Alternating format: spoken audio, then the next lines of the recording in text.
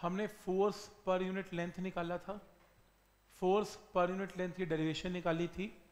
I one I two current है और formula आया था mu naught by four by two I one I two by R वो formula thin wire के लिए था पतली पतली वायर्स हैं। क्वेश्चन चेंज हो गया। एक वायर थिन है आई वन है और दूसरी थोड़ी मोटी है। ऐसे फ्लैट है। इस फ्लैट वायर में करंट क्या है? आई टू है। अब वो कह रहे बताओ फोर्स पर यूनिट लेंथ क्या होगा?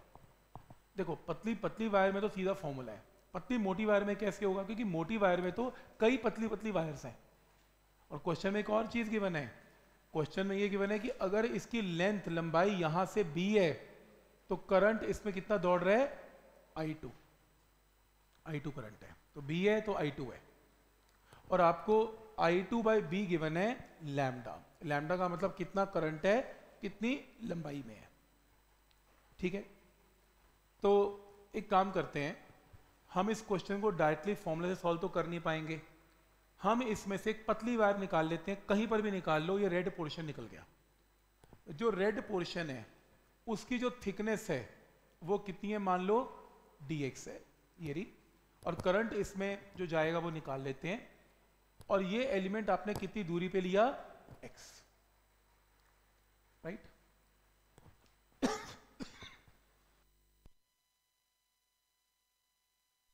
तो इस पतली वायर में करंट कैसे आएगा?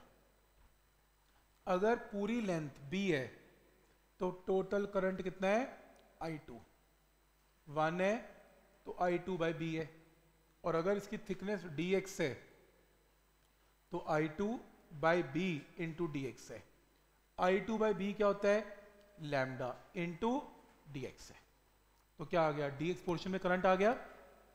तो अब पतली वायर, एक पतली वायर ये रही, एक पतली वायर ये रही, जिसमें ये करंट है। तो इन दोनों पतली पतली वायर में small force per unit length निकाल लो। तो इनमें फोर्स पर यूनिट लेंथ की वैल्यू क्या होगी? Mu naught by four pi two I one और आई टू की जगह lambda into D X by X अब आपको लैमडा पता है क्वेश्चन में I two by B put कर लिया। Total force per unit length निकालने के लिए इंटीग्रेशन तो इंटीग्रेशन में पहली वायर पतली यहाँ ली जाएगी at a distance of A और आखिरी कहाँ ली जाएगी? At a distance of B तो लेंथ ए से लेके ए प्लस बी तो लिमिट क्या लगेगी? ए से लेके ए प्लस बी तो वन बाय एक्स की इंटीग्रेशन क्या है? लॉग एक्स एक बार एक्स की जगह अपर लिमिट एक बार लोअर लिमिट दोनों को माइनस फिर first term minus second term की लॉग क्या होती है? Log of first term by second term objective में मार्क करना। क्लियर है यहाँ तक?